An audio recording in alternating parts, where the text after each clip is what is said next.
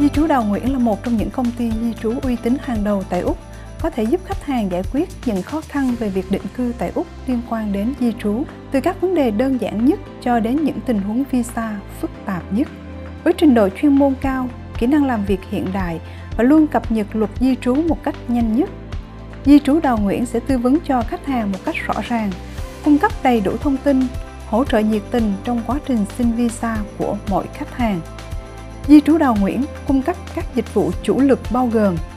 kháng cáo tòa phúc thẩm khi visa bị từ chối, visa diện hôn nhân, đính hôn và kết hôn, bảo lãnh hôn nhân đồng giới, visa cha mẹ, con cái và visa lao động. Trong đó, tỷ lệ xin visa thành công lên đến 99%. Muốn biết thêm chi tiết, xin vui lòng liên lạc Di trú Đào Nguyễn qua số 02 8764 0518.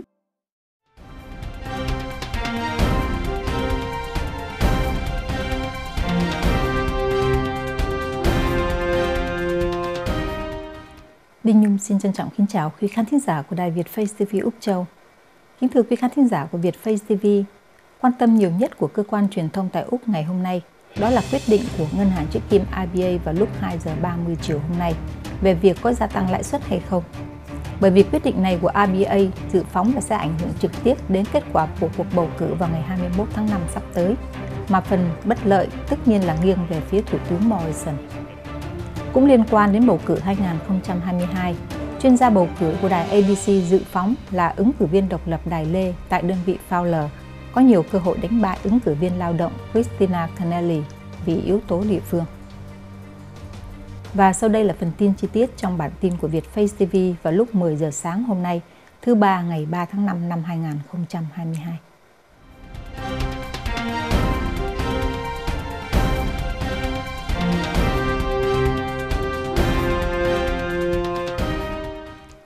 Tóm lược vài quan điểm khác biệt giữa Thủ tướng Morrison và lãnh tụ Albanese.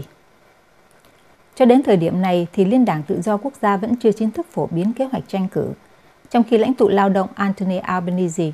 thì đã phổ biến chính sách của họ tại Perth vào Chủ nhật vừa qua trước cử tọa gồm rất nhiều đảng viên của Đảng Lao động, kể cả hai cựu Thủ tướng Lao động là Kevin Rudd và Paul Keating.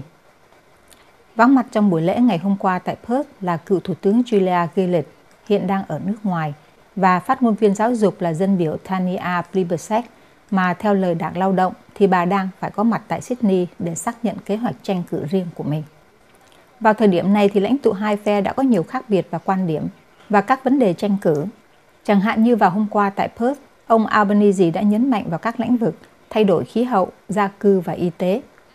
Trong khi đó thì tại Sydney, Thủ tướng Morrison đã vận động tại nhiều đơn vị ở thủ phủ Sydney và nhấn mạnh đến việc bảo vệ an toàn trên mạng, tức là online safety. Thủ tướng Morrison nói rằng nếu liên đảng thắng cử thì vấn đề an toàn trên mạng sẽ được chính phủ tiếp tục quan tâm bảo vệ. Về mặt gia cư, Đảng Lao động đã chấp nhận kế hoạch của liên đảng trong việc trợ giúp người mua nhà đầu tiên. Và theo chính sách này của chính phủ Morrison, thì người mua nhà đầu tiên chỉ cần có 5% hoặc 2% tiền đặt cọc. Và ông Albanese xác nhận rằng chính sách này sẽ được một chính phủ lao động tiếp tục thực hiện. Nhưng đồng thời ông Albanese cũng loan báo một chính sách mới gọi là đồng sở hữu nhà, tức là share equity, và trong chính sách này thì một chính phủ lao động sẽ đóng góp từ 30 đến 40% giá trị của căn nhà mà cư dân sẽ mua. Tuy nhiên trong vòng 3 tuần lễ còn lại của chiến dịch tranh cử, Liên đảng Tự do Quốc gia có lẽ sẽ gặp nhiều rủi ro hơn so với lao động. Chẳng hạn như vào ngày mai thứ ba 3 tháng 5, ngân hàng Trích kim RBA có thể quyết định gia tăng lãi suất để đối phó với lạm phát gia tăng và hiện đang ở mức 5.1%, là mức cao nhất trong vòng 20 năm. Và nếu RBA gia tăng lãi suất từ mức thấp lịch sử là 0.1%, thì đây cũng là lần đầu tiên mà RBA gia tăng lãi suất trong vòng 10 năm. Ngoài ra trong những ngày sắp tới, còn có vấn đề gia tăng lương bổng, và nếu sự gia tăng này ở mức thấp thì đây cũng được coi là bất lợi cho liên đảng. Tuy nhiên, một diễn tiến được coi là có lợi cho liên đảng nhưng chỉ diễn ra hai ngày trước ngày bầu cử. Hiện nay đang ở mức 4% là mức thất nghiệp thấp nhất trong hơn 50 năm qua lãi suất và gia cư, nguy cơ đối với liên đảng trong cuộc bầu cử lần này. Theo nguồn tin của đài truyền hình số 7, thì nhiều kinh tế gia dự phóng là hôm nay thứ ba 3 tháng 5, vào lúc 2 giờ 30 phút chiều hôm nay, ngân hàng chữ kim RBA sẽ quyết định gia tăng lãi suất, có thể là từ mức 0.1% lên thành 0.25%. và sau đó tiếp tục gia tăng trong những tháng sắp tới. Nhắc lại là lãi suất ở mức thấp lịch sử là 0.1% đã được giữ liên tục từ tháng 11 năm 2020. Và nếu chỉ số này được gia tăng vào ngày mai, thì đây là lần đầu tiên mà RBA gia tăng lãi suất kể từ tháng 11 năm 2020. Và nếu sự gia tăng này xảy ra vào hôm nay, thì đây cũng là trường hợp lịch sử tái diễn, vì lần sau cùng mà RBA gia tăng lãi suất trước ngày bầu cử là vào năm 2007, dưới thời chính phủ liên đảng John Howard. Và tất nhiên là trong cuộc bầu cử 2007 này, lãnh tụ lao động Kevin Rudd đã chiến thắng. Đơn vị Fowler, ứng viên độc lập Đài Lê có cơ hội đánh bại ứng viên lao động Kennelly, theo chuyên viên đài ABC. Ông Anthony Green là một chuyên gia về bầu cử của hệ thống truyền thông quốc gia ABC và những nhận xét của ông thường được coi trọng vì mức độ chính xác cao. Hôm qua trên đài ABC, chuyên gia Anthony Green đã nhận xét rằng ứng cử viên độc lập Đài Lê, một công dân Úc gốc Việt hiện đang làm phó thị trưởng thành phố Fairfield trong đơn vị Fowler, là một ứng cử viên độc lập có tư thế đáng kể và cũng có cơ hội chiến thắng tại đơn vị Fowler thuộc vùng Tây Nam Sydney, nơi có rất đông cử tri gốc Việt cư ngụ. Nhắc lại là cô Đài Lê trước đây đã từng tranh cử tại đơn vị hạ viện ở tiểu bang New South Wales là Cabramatta. Về thành phần cư dân tại đơn vị Fowler, thì theo kiểm tra dân số năm 2016, hơn 70% cư dân là có cha hoặc mẹ sinh đẻ ở nước ngoài, và riêng cử tri nguồn gốc Việt Nam chiếm 16%. Trong khi vào năm 2019, lao động đã chiến thắng tại Fowler là 14%. Trong bối cảnh này, nếu có 8% cử tri không bỏ phiếu cho Đảng Lao động vào ngày 21 tháng 5, thì ứng cử viên Christina Kennelly mà Đảng Lao động đã thải dù xuống đơn vị Fowler có nguy cơ thất cử. Nhắc lại dân biểu Chris Hay của Đảng Lao động đã không tái tranh cử tại đơn vị Fowler vì lý do sức khỏe. Và ông Chris Hay đã đề nghị tiến cử một nữ luật sư gốc Việt là Tú Lê để làm ứng cử viên Đảng Lao động.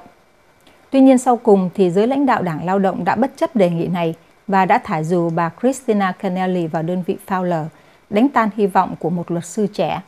Cô Tú Lê cho rằng đây không những là nỗ lực cho chính mình mà còn là nỗ lực của cả cộng đồng văn hóa đa nguyên và bình đẳng phái tính – cũng như bình đẳng về văn hóa. Riêng về phần phó thị trưởng Đài Lê, thì Đài Lê cũng là một người tị nạn Việt Nam và khi gia đình đến Sydney để định cư, thì Đài Lê đã sinh sống tại Bosley Park, vốn là một phần của đơn vị Fowler. Đài Lê nói rằng cô đã trưởng thành và sinh sống tại địa phương này, trong khi ứng cử viên đối thủ Kennelly là hoàn toàn không thích hợp cho một đơn vị của những người tay làm hàm nhai. Đài Lê coi yếu tố địa phương này chính là sức mạnh của chiến dịch tranh cử lần này – trong khi bà Christina Kennelly cư ngụ tại vùng Scotland Island là một khu vực khá giả ở phía bắc Sydney. Đơn vị Fowler hiện nay có 7 ứng cử viên. Ngoài Đài Lê còn có một ứng cử viên gốc Việt khác là cô Courtney Nguyên, ứng cử viên chính thức của Đảng Tự Do. Bình luận về việc thả dù bà Christina Kennelly vào đơn vị Fowler, một chuyên viên về nguồn gốc lãnh đạo Úc Á tại Viện Đại học ANU, giáo sư Ye Jung Lo cho rằng đây là một sự thất bại của chính sách dị biệt văn hóa cũng theo chuyên gia này thì Đảng Lao động chỉ nói nhưng không làm trong chính sách bình đẳng về văn hóa khi lao động thả dù bà Kennelly xuống đơn vị Fowler. Đơn vị Benelong tranh cãi thô tục giữa một ứng cử viên và nhóm cử tri gốc Hoa, cảnh sát đã can thiệp. Ngày hôm qua, một vụ tranh cãi với lời lẽ thô tục mà một nhóm người Hoa quá khích đã sử dụng để chống lại một ứng cử viên thượng viện, ông Drew Pavlo, vốn là một sinh viên chính trị học tại Viện Đại học Queensland và đang ra tranh cử Thượng viện Liên bang khi ông Pavlo đã đến thăm viếng đơn vị Benelong thuộc vùng nội thành Sydney. Chỉ mới 20 tuổi, đang còn là sinh viên, nhưng ông Pavlo đã có thành tích hoạt động chính trị trong nhiều năm và gây nhiều tranh cãi. Đặc biệt là ông đã chỉ trích với lời lẽ nặng nề lãnh tụ Trung Quốc Tập Cận Bình. Mặc dù lời lẽ mạnh bạo và thô tục khi mô tả ông Tập Cận Bình, nhưng ông Pavlo nói rằng ông không hề bạo động và chỉ sử dụng quyền tự do ngôn luận Tất nhiên khi ông có mặt tại trung tâm thương mại Eastwood của đơn vị Benelong, thì ông đã bị một số người gốc Hoa có tinh thần quốc gia cực đoan bênh vực ông Tập Cận Bình và đã chỉ trích ông Pavlo cũng với những lời lẽ rất thô tục và do đó đã dẫn đến xung đột, đến mức độ mà cảnh sát đã được mời đến để can thiệp. Ông Pavlov và một người đồng hành nói rằng ông đã bị tấn công và đã mô tả sự kiện này với giới chức thẩm quyền. Ông Pavlo nói rằng nếu ông đã dùng những lời lẽ khiếm nhã này để chỉ trích Thủ tướng Morrison, thì có lẽ đã không có ai phản đối. Tuy nhiên nói diệt chủng xảy ra tại Trung Quốc thì ông lại bị những người gốc Hoa cực đoan mạ lị và tấn công. Ông Pavlo nói rằng ông ủng hộ Đài Loan, Tây Tạng và Việt Nam tại Úc vì những cộng đồng này có khuynh hướng chống lại độc tài cộng sản. Hợp tác an ninh quốc phòng Úc-Nhật cải thiện khả năng hành quân giữa hai không lực. Trong lĩnh vực an ninh quốc phòng, hai nước Úc-Nhật đang ngày càng củng cố thêm hợp tác quan trọng. Có vẻ như đây là một chiến lược để chống lại sự bành trướng của Bắc Kinh mà sự hợp tác quân sự giữa Úc và Nhật mỗi ngày một gia tăng. Nhắc lại là Tokyo và Canberra đã có hiệp ước quy định sự hiện diện quân đội giữa hai bên và gần đây binh chủng không quân của hai nước cũng đã thực tập trung trong việc tiếp nhận nguyên liệu từ chiến đấu cơ này sang chiến đấu cơ khác trên không. Để cải thiện khả năng hành quân chung, một chiếc phi cơ vận tải chuyên chở xăng dầu của quân đội Hoàng gia Úc đã tiếp vận nhiên liệu cho một phản lực cơ F-2 của lực lượng không quân Nhật Bản. Điều này nằm trong chương trình hợp tác quân sự giữa hai nước đã kéo dài từ ngày 4 tháng 4 đến ngày 27 tháng 4 vừa qua. Tư lệnh không quân Úc, tướng Darren Goldie nói rằng sự thành công trong các cuộc diễn tập này sẽ giúp gia tăng khả năng hợp tác giữa hai nước để có thể tham dự vào các huấn luyện phức tạp hơn. Cũng theo lời tướng Darren Goldie, thì các cuộc tập huấn thành công nói trên sẽ góp phần vào việc duy trì và phát triển về an toàn bền vững cho toàn khu vực Ấn Độ-Thái Bình Dương. Các cuộc thử nghiệm gia tăng khả năng hành quân chung là điểm cao của hai năm hợp tác trong lĩnh vực không quân giữa hai nước. Mưu toan của Bắc Kinh sau khi ký kết hiệp ước an ninh với đảo quốc Solomon gia tăng sự hiện diện tại quần đảo Senkaku và những đe dọa với Đài Loan là những rủi ro về an ninh dẫn đến sự hợp tác chặt chẽ mỗi ngày một gia tăng giữa Úc và Nhật để chuẩn bị cho một cuộc hành quân chung trong tương lai. Nhắc lại là về kế hoạch hành quân chung này, thì Hải lục không quân của Úc vẫn thường tập huấn với các đơn vị đồng nhiệm tại Mỹ, để mỗi khi quân đội đồng minh tham chiến thì họ có thể hỗ trợ lẫn nhau một cách nhịp nhàng.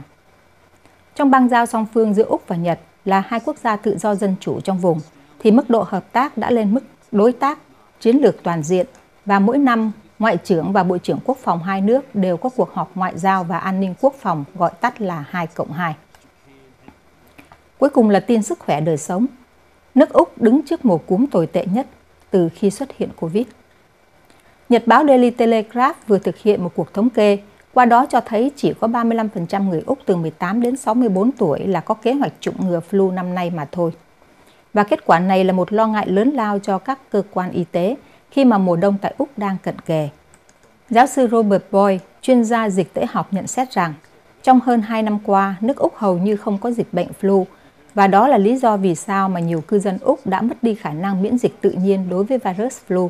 và do đó cần phải tạo miễn dịch bằng cách chủng ngừa, ít nhất là với 70% cư dân trên 18 tuổi, tức là cao hơn gấp đôi so với dữ liệu thống kê của Daily Telegraph. Ngoài ra thì tờ Sydney Morning Herald báo cáo rằng đội cúm của Tổ chức Y tế WHO đang dự đoán một đợt dịch bùng phát bệnh đáng kể ở New South Wales, trong khi các nhà chức trách Victoria đang kêu gọi mọi người đi chủng ngừa bệnh cảm cúm flu. Các trường hợp bệnh cúm và số ca tử vong liên quan đến bệnh cúm tăng lên vào mỗi mùa đông. Nhưng vì số liệu thống kê này không được công bố giống như số ca tử vong do Covid, nên có thể dễ dàng quên đi những nguy cơ mà mùa dịch cúm gây ra. Với bản tin vừa rồi, Đinh Nhung xin tạm dừng phần chương trình tin tức của Việt Face TV.